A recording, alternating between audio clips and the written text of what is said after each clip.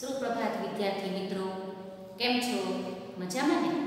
આપણે થોડા દિવસ પહેલા પાઠ નવ આવરે વરસાદ, સમજાતા, બરોબર? અને એમાં આપણે થોડો પાઠ અધૂરો મૂક્યો હતો. હવે એ પાઠને આપણે આગળ વધારીએ છીએ, બરાબર? તો એની અંદર આપણે વરસાદ વરસાદ વિશે સમજ્યા, વરસાદથી શું શું થાય એ સમજ્યા આપણે. અને આપણે એ પણ સમજતા કે આખા વર્ષની ત્રણ ઋતુઓ છે. શિયાળો, ઉનાળો અને ચોમાસું. શિયાળામાં ઠંડી પડે, ઉનાળામાં ગરમી પડે અને વરસાદ ઋતુની અંદર વરસાદ પડે છે. અને જો ખૂબ વધારે વરસાદ પડે, તો એની કેવી કેવી અસરો થાય એ આપણે સમજ્યા. એટલે કે અતિવૃષ્ટિ.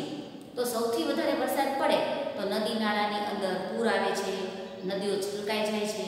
ઘણી બધી નદીઓ તો ગાંડી દૂર બની અને એટલો જોરથી એનો પ્રવાહ હોય કે એની અંદર ઢોર ઠાકર ઘર વખરી. તમે જુઓ તો ઘણીવાર છાપાની અંદર જાહેરાત આવે કે ભાઈ, બળદગાડો લઈને જતા હતા તો બળદગાડો આખું પાણીમાં તણાઈ તો આટલો બધો નદીનો પ્રવાહ હોય છે. અને ઘણી વાર વરસાદ આવતો પણ નથી. એટલે કે અનાવૃષ્ટિ. અનાવૃષ્ટિ એટલે કે દુષ્કાળ. જ્યારે વરસાદ ન પડે, ત્યારે અનાજ પાકતું નથી, પીવાલાયક પાણી મળતું નથી. અને આપણે અનેક મુશ્કેલીઓનો સામનો કરવો પડે છે. આપણે આ કૃષિકા અને તમારી પર્યાવરણની ચોપડીની અંદર પાના નંબર ઓગણસાઠ ઉપર અપ્પુની વાર્તા છે. એટલે કે પાઠ છે આપણે વાર્તા તરીકે. તો એ એને કેળા પસંદ છે એ આપણે સમજાતા, બરોબર? તો કેળા પસંદ છે, તો ઘણા દિવસથી વરસાદ નહોતો પડ્યો. એટલે અપ્પુને એક દિવસ ત્યાં ગયો કેળાના ઝાડ આગળ. તો એને જોયું, તો કેળના વૃક્ષોના પાન નમી પડ્યા હતા. કેમ? કેમ કે કેળના વૃક્ષોને પાન પાણી મળ્યું ન હતું. પછી અપુએ નજર કરી કે લાવે હું પાણી પાવ એ મને રોજ સરસ મજાના મીઠા મધુર કેળા આપે છે, તો મારે એની માટે કાંઈક કરવું પડે. તો આજુબાજુ નજર કરી તો દૂર એક તળાવ હતું. ત્યાં તળાવની અંદર અપ્પુ ગયો, સૌથી પહેલાં એને ધરાઈને પાણી પીધું, પછી પોતાના શરીર ઉપર પાણી છાંટ્યું, અને પછી પાણી સૂંઢની અંદર ભરી અને કેળાના છોડને પાડ્યું. એટલે તો ભાઈ, કેળાના છોડને તો, એટલે કે એના વૃક્ષને તો જીવન મળ્યું અને તાજો માજો ખીલીને સરસ થઈ ગયો. તમે જુઓ, તો એને તો પાંદડા સરસ મજાના આવી ગયા અને આનંદથી ટવકી ઉઠ્યો. એટલે મોરની જેમ ટવકી ઉઠ્યો નહીં પણ એ આનંદ આનંદ પામી ગયો. હા હા મને પાણી મળી ગયું. આપણે કેટલા બધા દિવસથી પાણી વગર ના હોય. એટલે પાણી વગર તો આપણે ચાલતું નથી, પણ એક દિવસ પાણી ન પીએ.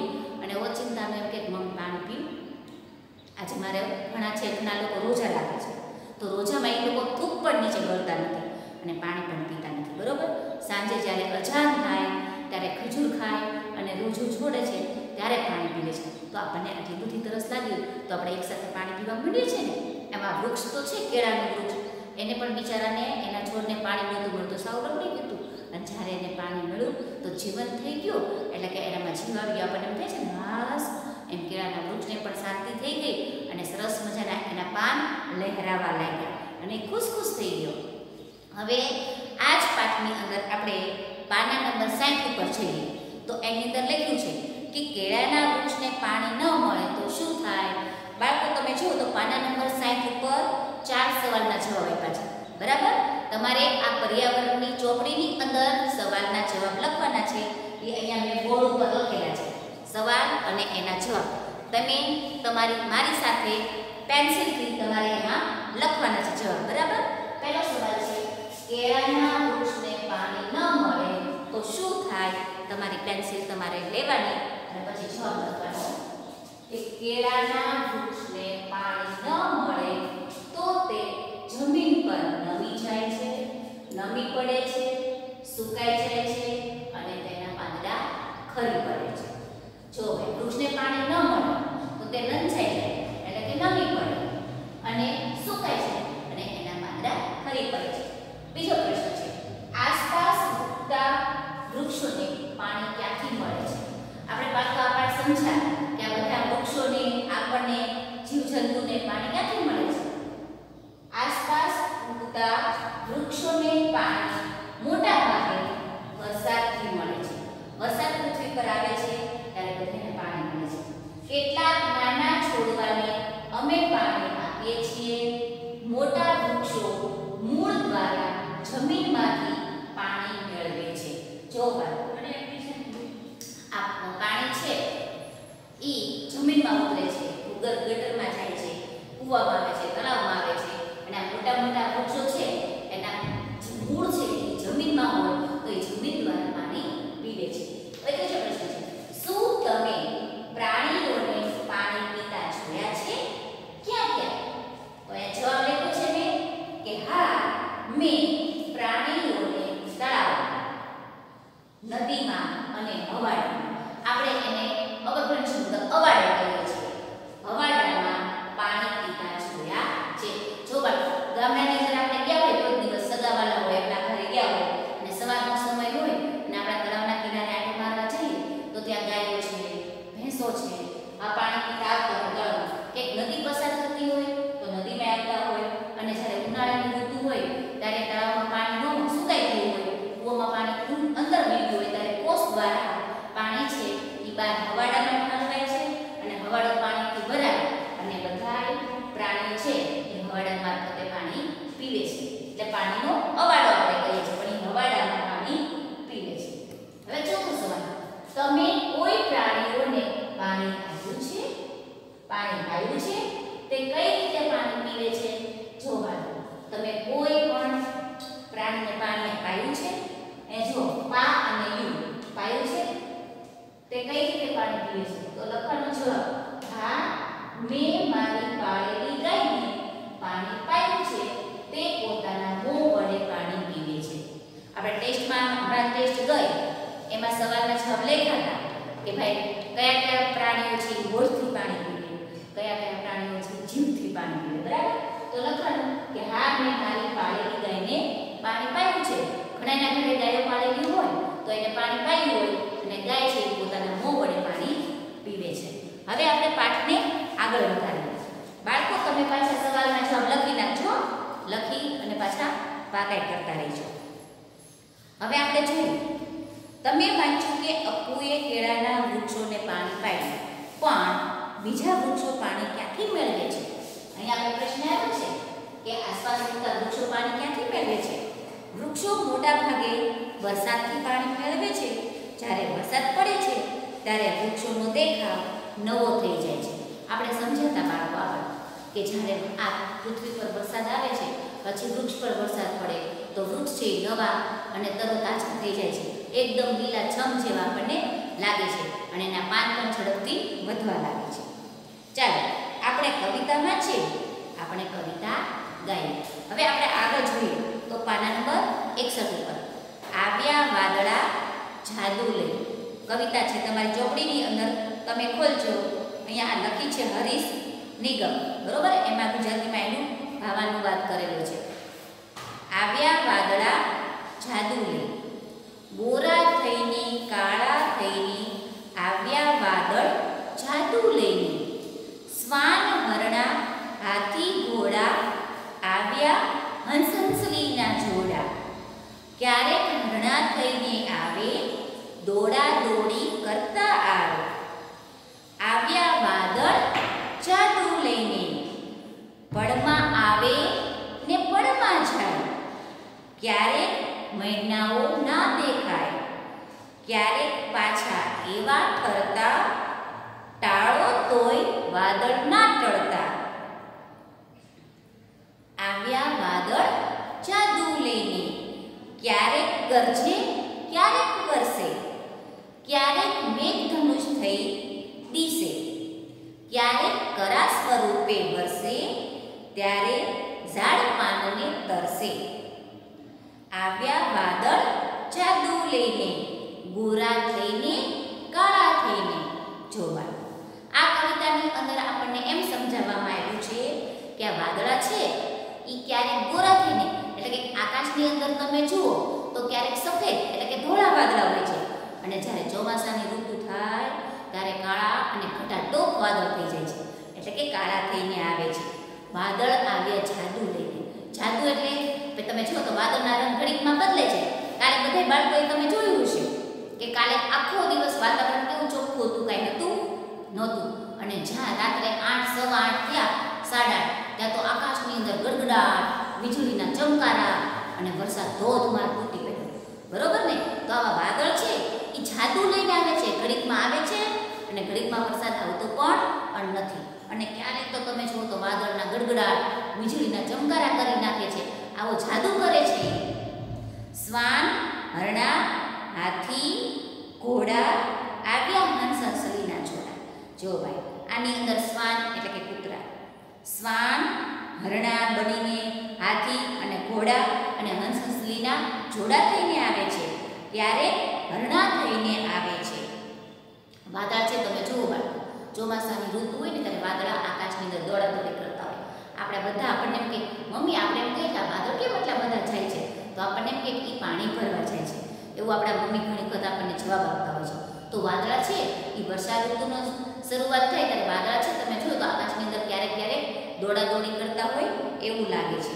પળમાં આવે અને પળમાં જાય. થોડીક વારની અંદર વાદળા તો છે, ઘડીક વારમાં આવી જાય અને ઘડીકમાં વયા પણ જાય છે. ક્યારેક મહિનાઓ ના દેખાય. એકદમ ચોખ્ખું શિયાળામાં તમે જોજો વાળો શિયાળાના ચાર મહિના ને કારતક, માગસર, પોષ ને માઘ આ ચાર મહિનાની અંદર તમે જો તો આકાશ એકદમ ચોખ્ખું હોય છે. ઉનાળામાં ચોખ્ખું હોય છે.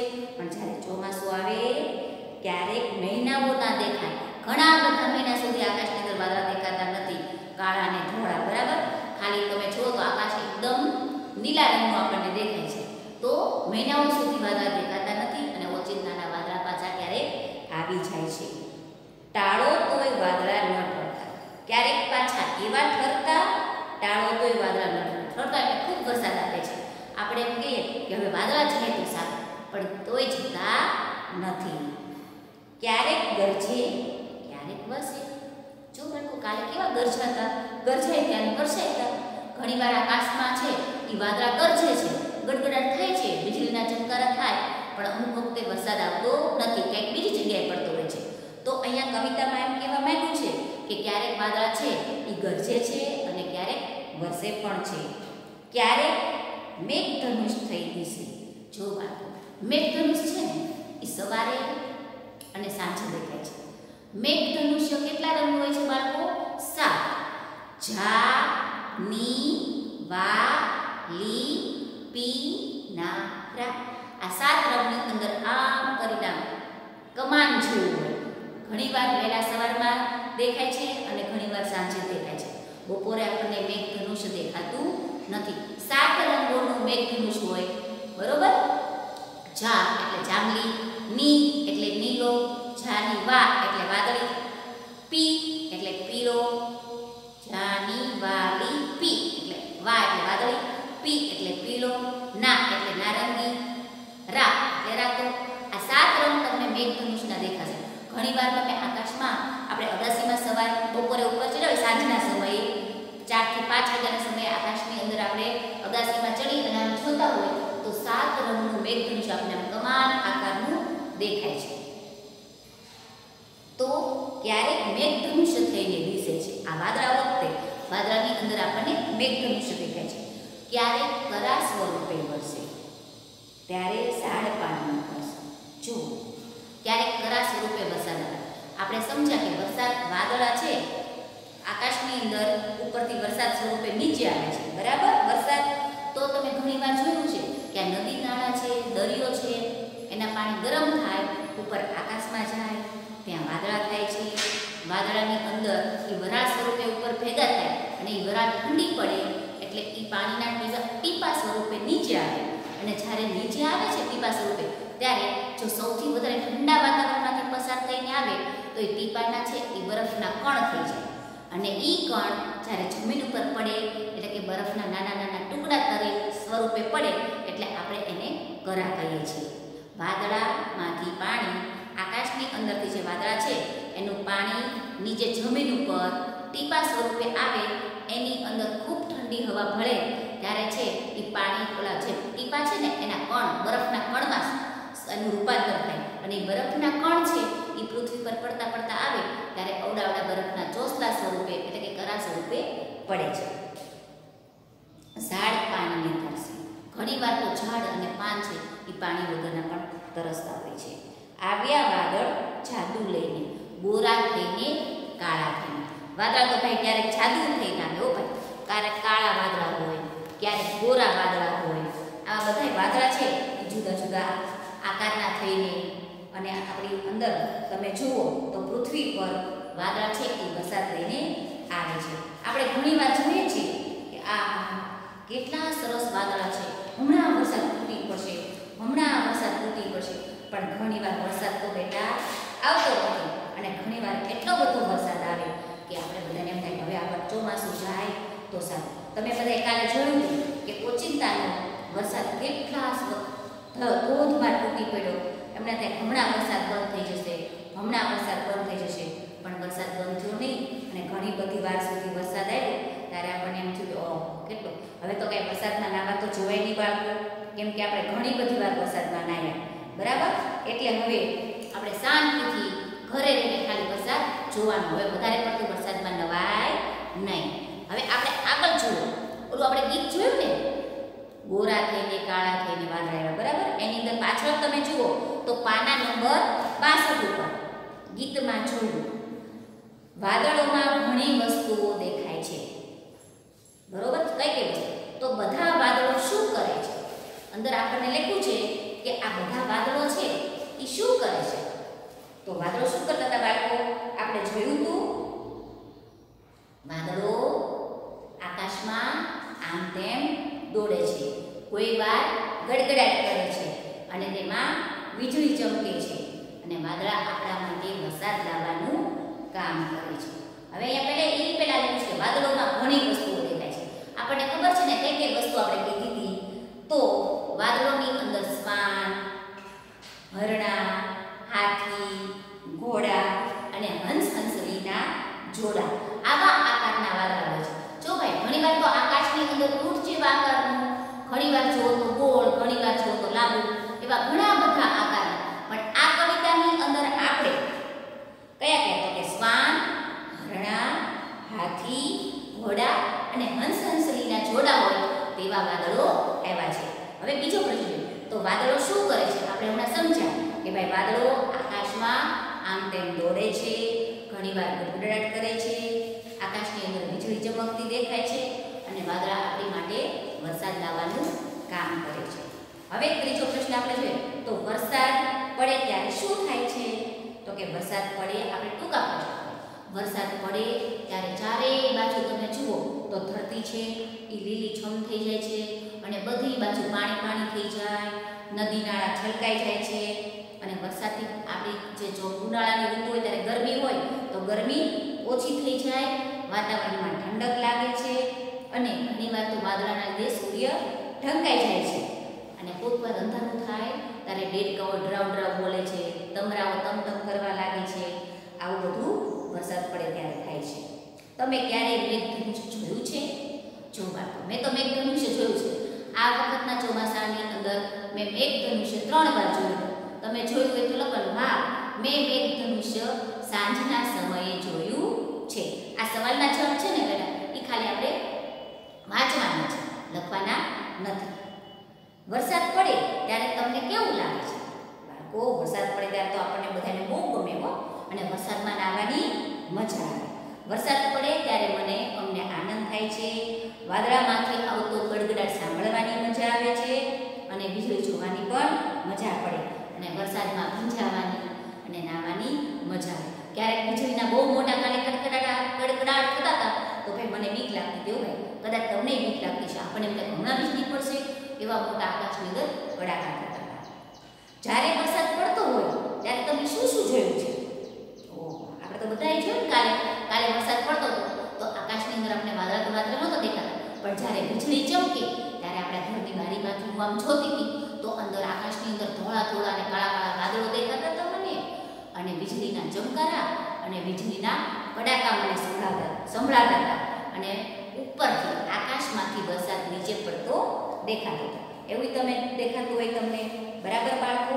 અને ઘણી વખત વરસાદ પડતો હોય દિવસે, ત્યારે ઘણા માણસો છે એ છત્રી ઓઢીને જતા હોય, ઘણા રેનકોટ પહેરીને જતા હોય, ઘણા નાના બાળકો છે એ પાણીમાં નાવા આવતા હોય, ઘણા બાળકો છે એ પાણીની અંદર છબછબિયા કરતા હોય, ઘણા છે એ કાગળની હોડી બનાવી અને તરત મૂકતા હોય એવું પણ આપણને દેખાતું હોય છે.